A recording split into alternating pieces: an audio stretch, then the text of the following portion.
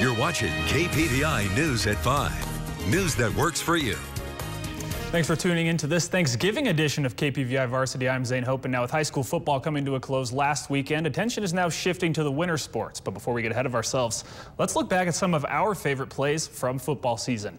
Now let's start with some defense. Hillcrest taking on Bonneville. Gutama Haas makes the amazing interception. Now, if you get a second look at this, you can see it actually gets caught in his legs, doesn't touch the ground. Amazing concentration there. Now sticking with the theme, Declo's Ben Puentes takes advantage of the tipped ball and gets an interception of his own. He had two that game. Now, how about one more for good measure? This time, Rigby picking off Skyline off the deflection. They're going to give their offense a good return as well, giving them some good field position. Now, speaking of offense, how about some offense? Highland facing Rigby. Kobe Tracy finds Landon DeMuzio, who says, two hands, what for? Nice one-handed grab for the touchdown there. Let's get another look at that. So many defenders around, but it doesn't bother him. Now, this next one may not have been a touchdown, but it was just as impressive. Century's Drew Gunter gets behind the defense and makes another one-handed grab. That one would eventually set up a Century touchdown.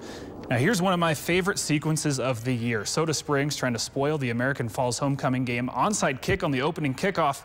They recover and then score a touchdown a few plays later. Then the next kickoff, they force a fumble, get on that as well, and score again. Just an awesome way to start a game. And now let's finish with a balancing act. Hillcrest Trey Henry somehow manages to keep his feet in bounds and score. This one deserves another look as well. One of the many big plays Hillcrest made en route to a state title.